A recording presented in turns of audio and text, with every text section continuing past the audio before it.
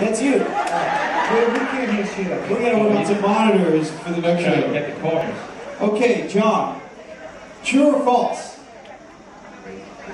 Though it is difficult, you can start a fire by rapidly rubbing two Cool Ranch Doritos together for a long period of time.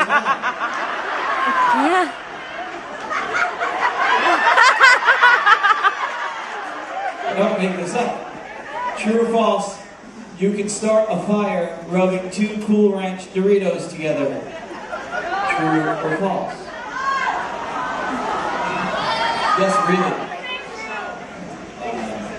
Do you want another visual answer?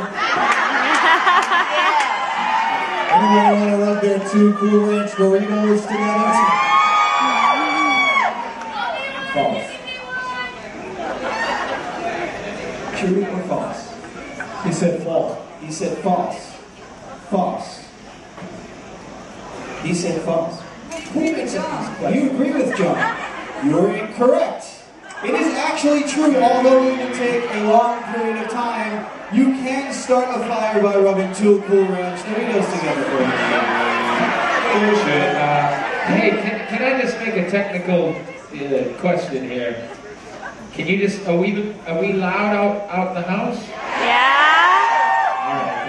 Turn it up, but we can't hear ourselves up there. Okay.